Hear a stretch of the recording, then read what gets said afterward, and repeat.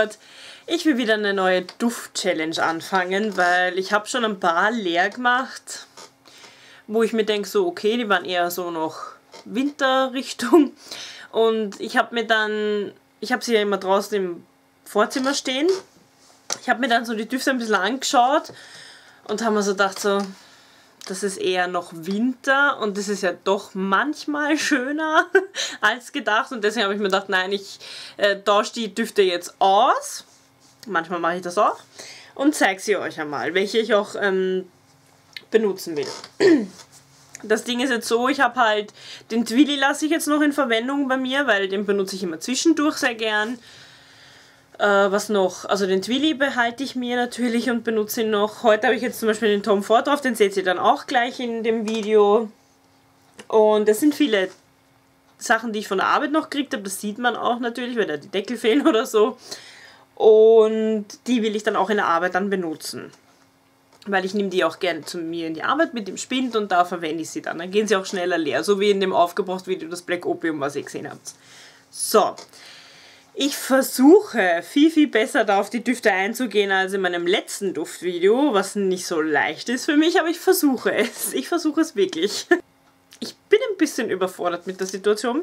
Ich habe zwei Jill Sander Düfte. Einen habe ich auch gerade da auf ähm, ein Kosmetiktuch gesprüht, weil ich habe keine Duftstreifen bei mir zu Hause. Äh, es geht um die Simply-Reihe. Da gab es ja einmal, das ist glaube ich der Pudre Intense, genau. Und das ist nur der Jill Sander Simply Pudre. Ich mochte beide sehr, sehr gerne. Leider sind beide auflassen worden.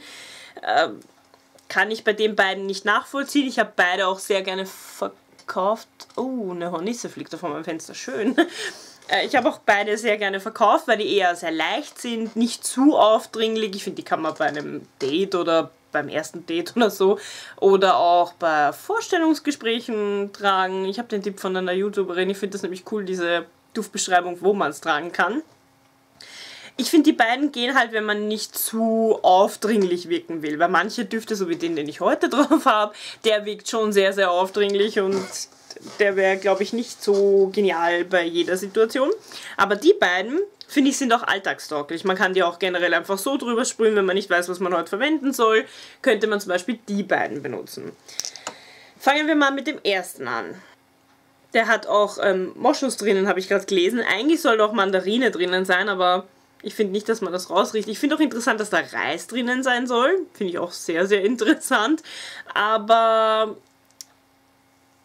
äh, ich finde, der hat doch sowas. Kennt ihr das, wenn ihr Milchreis macht und das dann frisch kocht habt? Kennt ihr das, den Duft davon? Ich mag es nicht persönlich, aber ich finde so, mich erinnert das ein bisschen dran. Ich mag das eigentlich nicht so, aber es erinnert mich ein bisschen dran mit einer Note von Orange und, und ist auch sehr, sehr, sehr Moschuslastig, finde ich. Sehr Moschuslastig, aber ich mag das. Ich mag das, weil der so ist. Ich finde die Zusammensetzung generell passt bei dem sehr, sehr gut zusammen. Wirklich sehr, sehr gut zusammen. Die Variante ist ein bisschen holziger. Beide haben auch Heliodruck drin, habe ich gerade gesehen. Aber der ist ein bisschen holziger noch von der Duftrichtung her. Ich zeige euch mal die Flasche ganz genau. Ich finde das so cool, dass da die Flüssigkeit schwarz ist. Viele mögen das ja nicht, aber ich finde das mega cool. Es ist auch Kaschmaran drin und Kakao Absolut finde ich auch super, weil der halt dadurch auch ein bisschen länger hält. Ich finde beide halten eigentlich sehr gut. Also bei dem Simply na Moment, ähm, der Intense hält glaube ich ein bisschen länger, weil der Simply Pudre, der klassische, der hält nicht so lange. Auch in Kombination nicht mit der Body Lotion habe ich das Gefühl. Ich habe das nämlich vor kurzem mal probiert und hatte jetzt nicht das Gefühl, dass es so ein Fortgeh-Duft ist. Ich hatte das nämlich zum Fortgehen drauf und ich finde nicht, dass das so ein Fortgeh-Parfüm ist. Da ist eher das, was ich heute drauf habe, eher so ein Fortgeh-Parfüm. Aber die beiden finde ich irgendwie nicht, dass die so zum Fortgehen geeignet wären. Ich sprühe mal kurz den... Obwohl die schon sehr, sehr ähnlich riechen. Die riechen wirklich sehr ähnlich. Ich finde, da ist nicht so ein großer Unterschied, außer dass der halt ein bisschen mehr Hölzer drinnen noch hat. Aber sonst ist da nicht wirklich viel Unterschied. Ihr habt auch die Inhaltsstoffe gesehen.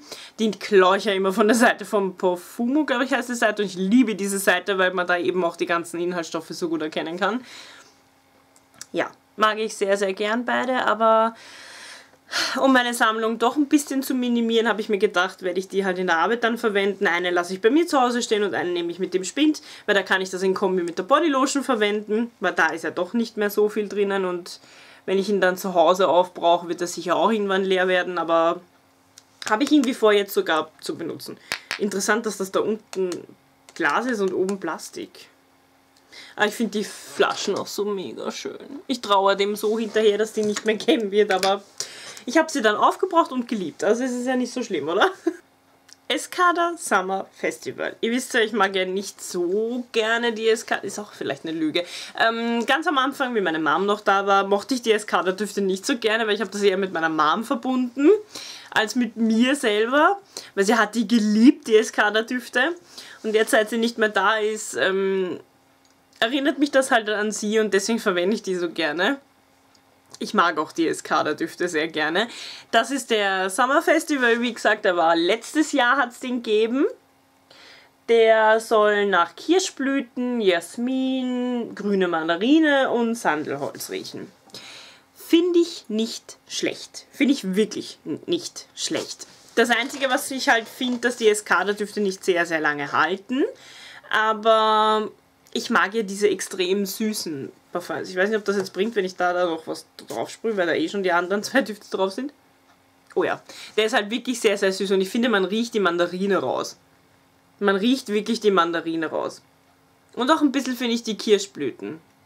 Auch so ein bisschen. Aber ich mag den so, so gern. Ich weiß, Escada ist nicht für jeden was. Wirklich nicht für jeden was. Aber ich mag, seit meine Mom nicht mehr da ist, mag ich die Escada-Düfte sehr gerne seit sie nicht mehr da ist schon. Ich habe den einen, diesen, ich habe den da liegen, wie heißt der noch? Äh, den Thai Sunset, den mochte ich ja auch sehr, sehr gern, war ich auch traurig, dass der damals dann leer worden ist. Jetzt gibt es ihn ja Gott sei Dank aktuell wieder. Ja, also ist auch einer, was ich sicher hinterher trauen werde, weil der ist echt gut. Und viele sagen, wenn ich Escada drauf habe, dass ich gut dufte. Das sagen auch sehr viele. Dann habe ich von John Galliano einen Duft, den ich sehr gern benutzen würde, obwohl ich da so ein bisschen Angst davor habe, weil den Duft gibt es nicht mehr. Ich habe jetzt auch ehrlich gesagt gar nicht geguckt, ob es den auf Amazon noch gibt. Das war damals ein Tester, den ich bekommen habe, den will ich unbedingt aufbrauchen, weil ich Angst habe, dass der mir kippt. Da schwimmt doch schon irgendwas drin. Äh, deswegen ich muss mir dann eh überlegen, welchen ich von denen allen zuerst verwenden soll. Aber den fand ich wirklich gut. Den fand ich wirklich gut. Und ich traue den echt hinterher, dass den nicht mehr gibt. Aber ich habe Gott sei Dank noch ein paar Backups. Ich habe mir die damals nämlich in 30 Milliliter gekauft. Ich habe den damals bei Müller, glaube ich, ein, zwei Stück gekauft. Wenn ich mich nicht irre und in einer anderen Filiale damals dann auch, wie ich gesehen habe, dass die den noch hatten. Und ich habe eigentlich relativ viele noch zu Hause. Ich kann euch jetzt gerade die aktuelle Zahl nicht davon sagen, aber ich glaube vier oder so sind es auf jeden Fall. Ich liebe den. Der ist auch so aufgemacht wie ein Brief. Da hat da die Briefmarke drauf. Auch auf dem Flakon habt ihr die Briefmarke oben. Jeder von den Düften, da gab es ja drei verschiedene, glaube ich, oder vier verschiedene sehe ich da gerade im Internet. Und alle hatten eine andere Briefmarke mit anderen Düften drauf. Ich glaube auch sogar mit den Inhaltsstoffen, die drin sind, weil der hat auch Rose mit drinnen.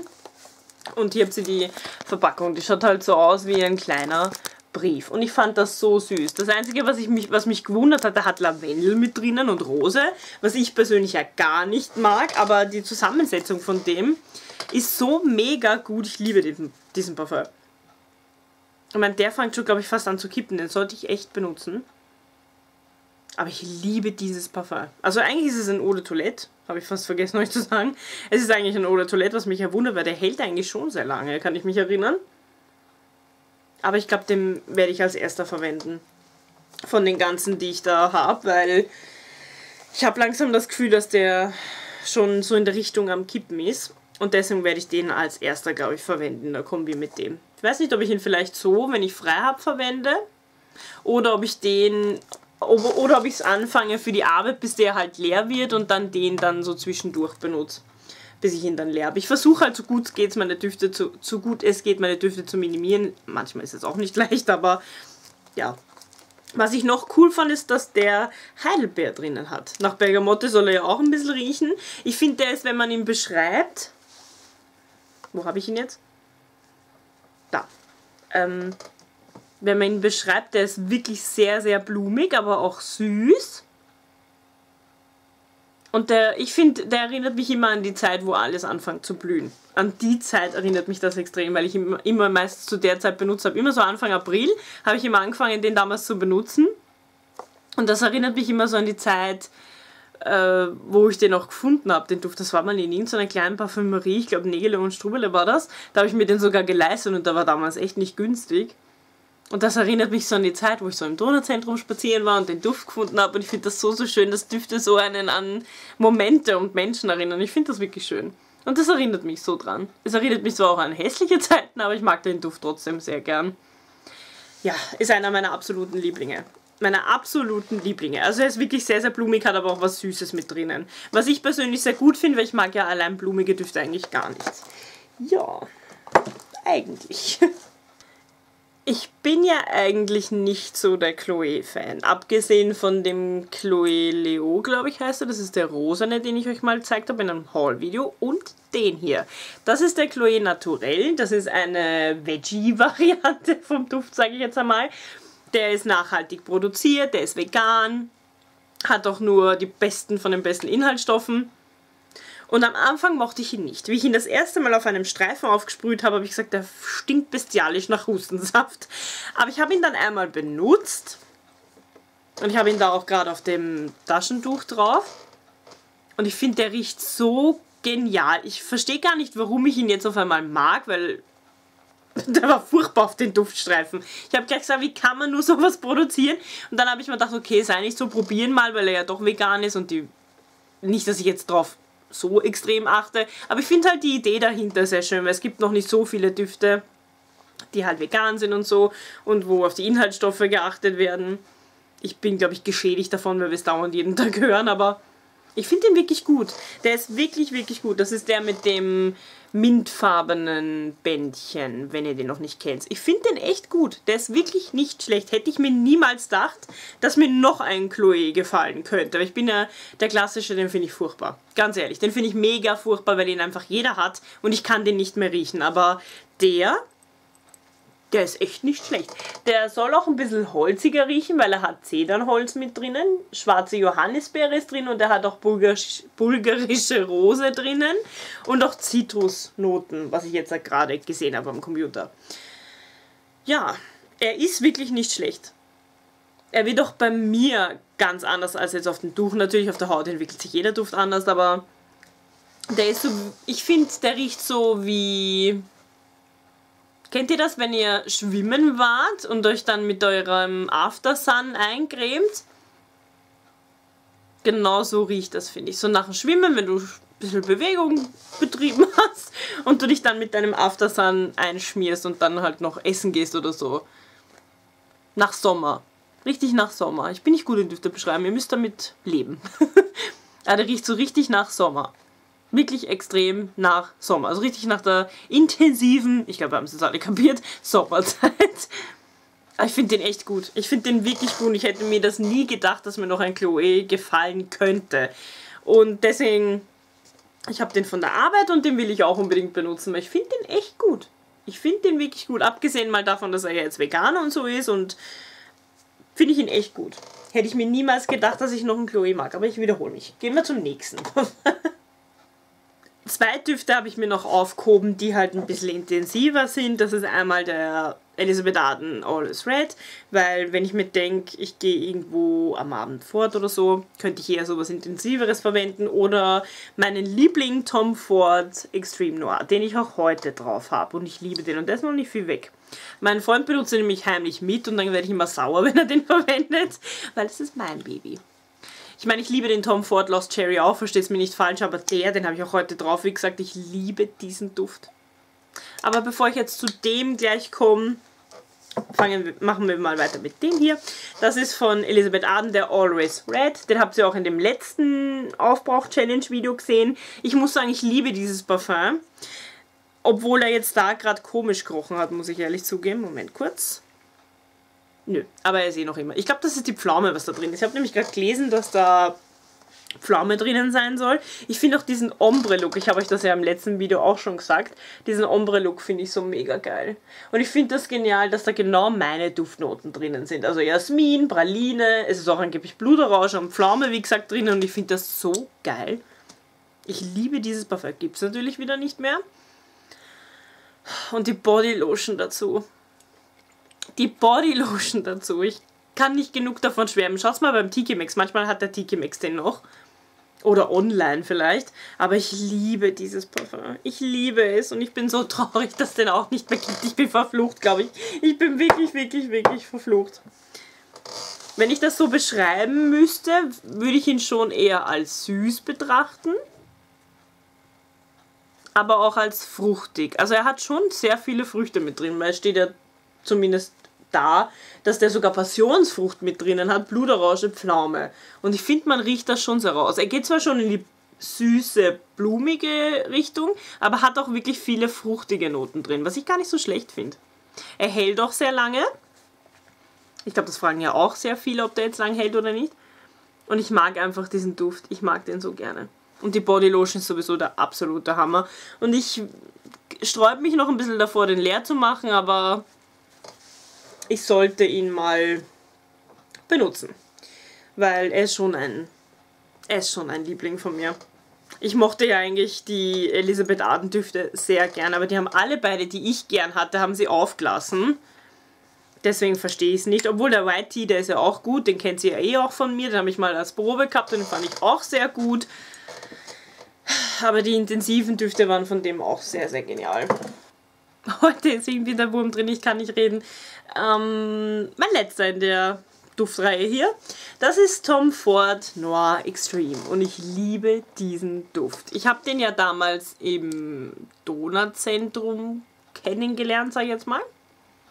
Den hat mir nämlich ein Mitarbeiter von Müller gezeigt. Ich war ja dort einmal helfen kann ich ja jetzt eh sagen, weil so schnell werde ich doch nicht mehr helfen, glaube ich. Ähm, ich liebe den. Der hat den mir durch Zufall nur gezeigt, weil er gemeint hat, ich soll den mal probieren und dann hatte ich den am Handgelenk oben und ich habe nicht mehr, ich habe an nichts anderes mehr denken können als an den Duft, wie ich baden gegangen bin. Ich mich so geärgert, dass ich nicht mehr danach rieche. Der ist so extrem genial, eben wie der Name auch schon sagt, extrem noir.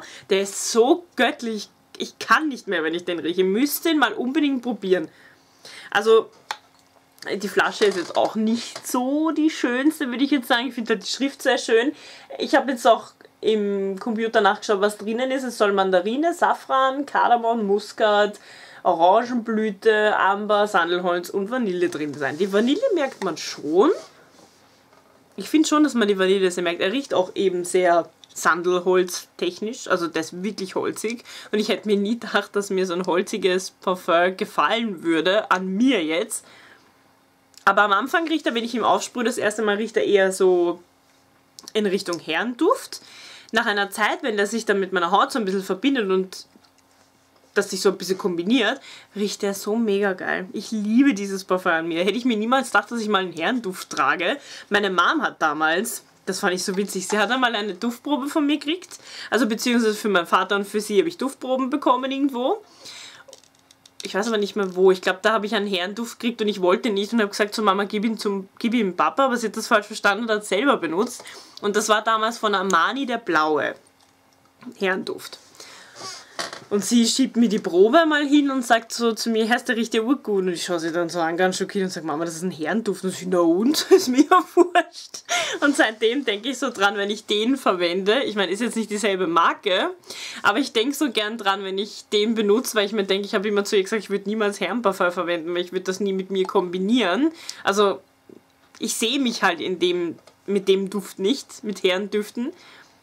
Aber der, ich finde, man riecht extrem bei dem die Vanille extrem bei dem die Vanille. Ich meine, beim Stefan riecht er auch mega genial. Aber bei mir kommt dann noch so dieses Feminine durch. Ich glaube, das liegt dann an der Rose und an der Jasmin, weil ich liebe Jasmin im Parfum, das wie sehr. Und Jasmin ist da auch drinnen.